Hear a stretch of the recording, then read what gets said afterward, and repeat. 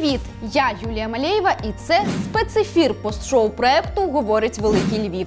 Але спочатку офтоп. Хочу поділитися з вами радісною новиною. Вже зовсім скоро наша програма матиме нову та ще кращу студію.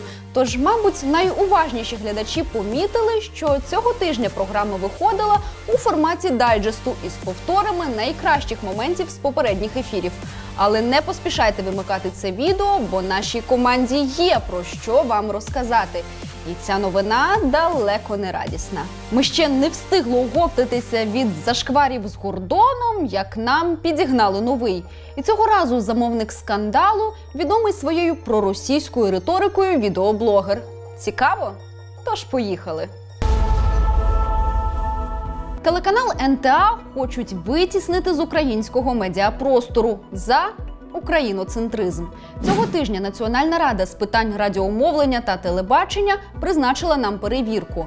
А накласти санкції на наш телеканал закликав блогер, відомий своєю проросійською риторикою Анатолій Шарій. І доволі дивно, чому такий поважний орган, як Національна Рада, взагалі узяв його слова до уваги. Адже ця людина не живе в Україні та пропагує на своєму каналі відверті антиукраїнські заклики. Насправді нам дуже мало відомо про цю перевірку. Тобто знаємо, що Нацрада витребувала наші ефіри.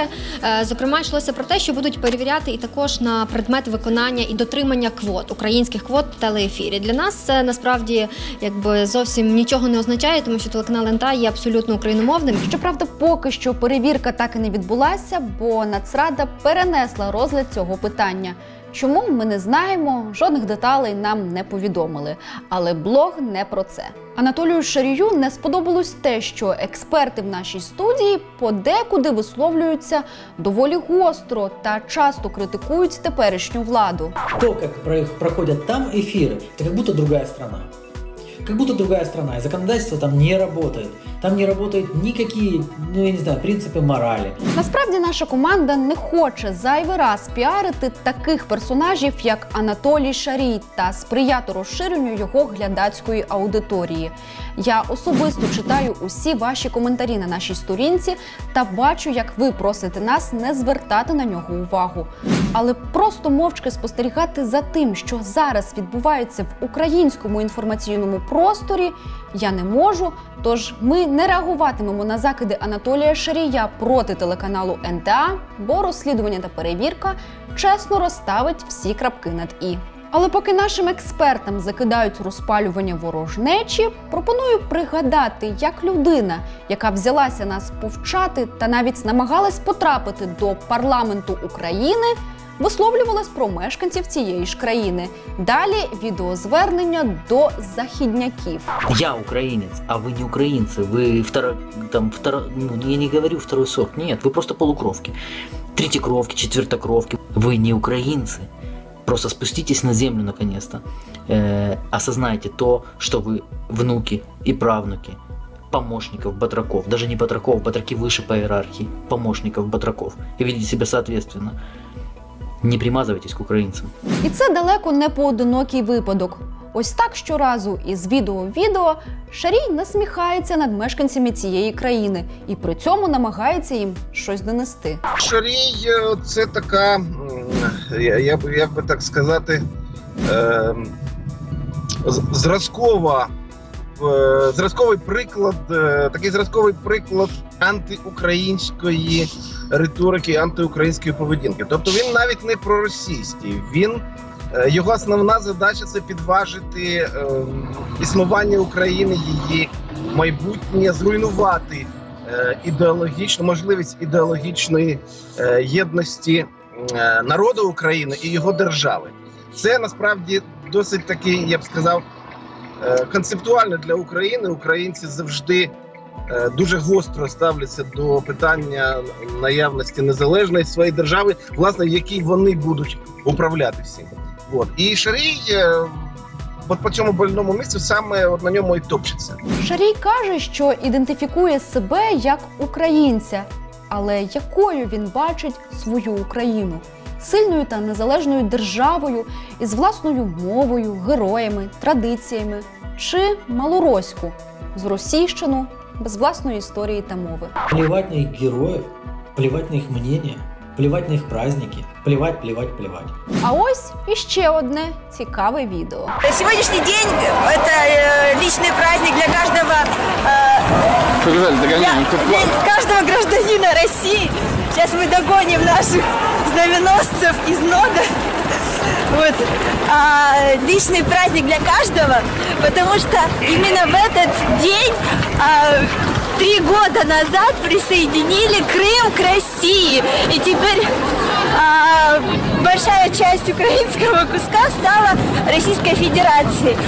Вот, и мы, э, конечно, рады этому событию, потому что э, много, много людей хотели вернуться в состав России, как и было раньше. Вот. И мы поздравляем всех крымчан с этим праздником. Знайомтеся, це Антоніна Білоглазова, третій номер у виборчому списку партії Шарія, а по сумісництву ще і її голова. Щойно ви побачили, як у 2016 році вона із розмахом святкувала анексію Криму у Москві. Чи дивує мене все це? Та ні. Мене дивує інше. Мене дивує те, що це не заважає Шарію говорити про свою любов до України та важливість її політичної самостійності. І як показують останні соціологічні дослідження, йому навіть вірять. У нас мільйони людей, судячи з усього, проголосували за віртуального голобородька.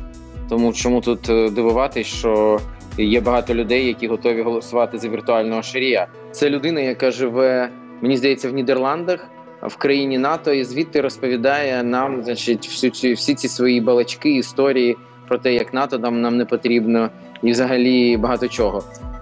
Він е, боїться їхати в Україну, при тому, що вже нова влада зняла з нього всі обвинувачення, його вже ніхто не розшукує, тобто в нього немає жодних проблем приїхати. Ось, але він все одно не їде в Україну, тому що я так розумію, йому зручніше займатися всією цією діяльністю звідти, десь звідки лясь. А діяльністю безумовно антидержавною. Щоправда, тішить те, що все ж таки велика частина його аудиторії це не українці, а росіяни. Зараз ми бачимо, що в Шарія за останні три місяці переглядів з України та Росії майже однаково: 43% з України і 39% з Росії. Тобто Анатолія Шарія, згідно з даними Тюбулар, можна офіційно назвати україно-російський блогер.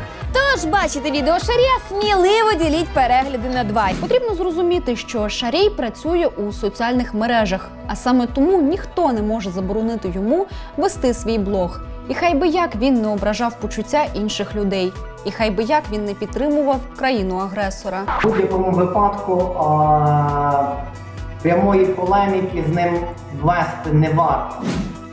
Тому що а, діалог можна вести конструктивний з людиною, яка хоче до, докопатися до істини, мати певне розуміння і бути готовим е, у разі помилки прийняти е, чужу сторону, тобто твердження іншої сторони.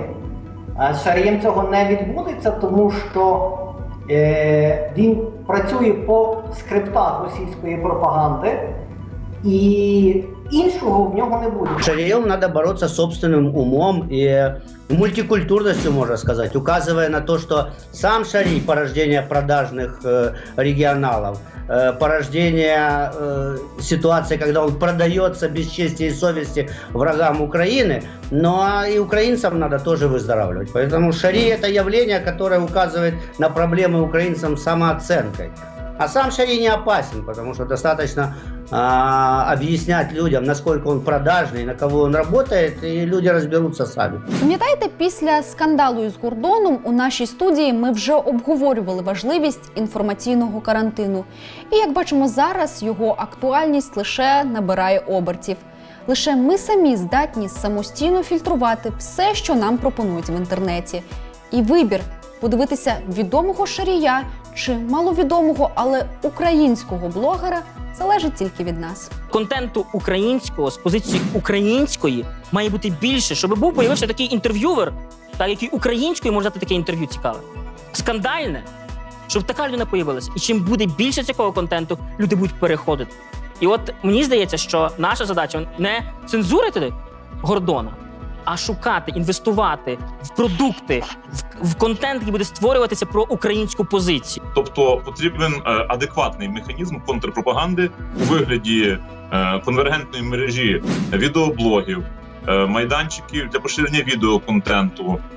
Також, звичайно ж, і у телеграм-каналах для поширення текстової інформації. Це все потрібно робити, підпорядковуючи єдиній меті. Це активна контрпропаганда, яка буде протидіяти пропаганді російській чи проросійській, тому що їхнє проникнення в наш інформаційний простір не те, що є неминучим, воно вже стало фактом. А що на вашу думку потрібно робити із Шарієм? Як протидіяти російській пропаганді? Напишіть ваші думки в коментарях. Нагадаю, наша команда читає усі коментарі та бачить кожну вашу реакцію. Команда проекту говорить Великий Львів. Щиро дякує нашим глядачам та експертам за підтримку, за те, що встали на наш захист. Скоро ми побачимось вже у новій студії. А поки стежте за нашими оновленнями, підписуйтеся на наші сторінки в соціальних мережах. А мене ви можете підтримати вподобайкою. Тож зустрінемось!